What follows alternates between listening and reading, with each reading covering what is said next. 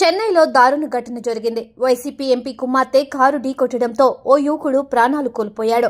బెంసెట్ నగర్కు చెందిన సూర్య అనే యువకుడు పెయింటర్గా పనిచేస్తున్నాడు. సోమవారం మధ్యాహ్నం మద్యం మత్తులో కళాక్షేత్ర కాలనీ వరదరాజశాలైలో ఫుట్పాత్ పై నిద్రపోయాడు. ఆ సమయంలో ఓ కారు ఫుట్పాత్ పై దూసుకువచ్చింది. ఈ ఘటనలో సూర్య తీవ్రంగా గాయపడ్డాడు. స్థానికులు హుటాహుటిన ఆసుపత్రికి తరలించగా అక్కడ ప్రాణాలు కోల్పోయాడు.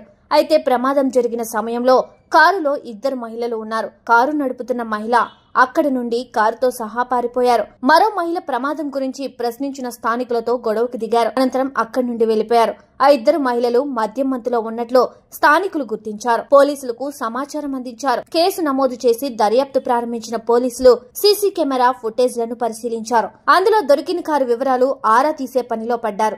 ఆ ఇద్దరు మహిళల ఫోటోలను సైతం చూశారు. అయితే సోమవారం సాయంత్రం వరకు నిందితురాల్ని అరెస్ట్ చేయకపోవడంతో మృతుడి కుటుంబ సభ్యులు ఆందోళనకు దిగారు.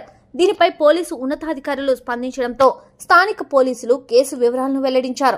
కారు నడుపుతూ పట్టుబడ్డ మహిళ వైసీపీ రాజ్యసభ సభ్యుడు బీదా మస్తాన్రావు కుమార్తె మాధురిగా గుర్తించారు. ఆమెను పోలీసులు అరెస్ట్ చేశారు. చనిపోయిన సూర్యకు వివాహమైనట్లు తెలుస్తోంది. ఈ ఘటన సోమవారం మధ్యాహ్నం జరగగా ఆలస్యంగా వెలుగు చూడడం విశేషం. ఈ ఘటనపై ఎంపీ మస్తాన్ రావు ఇంతవరకు స్పందించలేదు. పోలీసులు పూర్తి వివరాలు వెల్లడించే అవకాశం ఉంది. కాగా ప్రమాదం జరిగిన తర్వాత ఓ మహిళ స్థానికులతో వాగ్వాదానికి దిగిన వీడియోలు సోషల్ మీడియాలో వైరల్ అవుతున్నాయి. మరోవైపు ఈ ఘటనలో అరెస్ట్ అయిన మాధురి కొద్దిసేపటికి బెయిల్పై విడుదలైనట్లు ప్రచారం జరుగుతోంది. దీనిని పోలీసులు ధృవీకరించడం లేదు.